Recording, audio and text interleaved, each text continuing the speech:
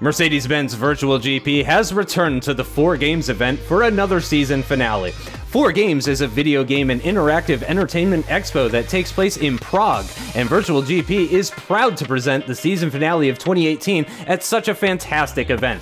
In 2017, there were over 200 exhibits and over 50,000 visitors over the course of the four days. Visitors to the FOR GAMES Expo were invited to meet the VGP drivers and even try out the hardware they use for racing. In addition, visitors were encouraged to enter into some competitions at the Mercedes Benz stage, along with a full motion simulator provided by Thrustmaster, longtime partners of VGP. Sim racing wasn't the only feature on offer, however, as fans could also take a look at the brand new Mercedes Benz A Class that Michael Schmidl won by finishing first in the 2018 VGP Championship.